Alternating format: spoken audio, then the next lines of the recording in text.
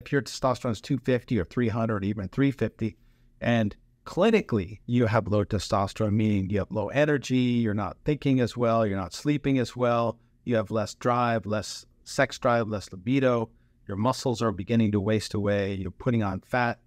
Testosterone can be, you know, life saving, can be miraculous. Testosterone really does affect the brain. Mm-hmm.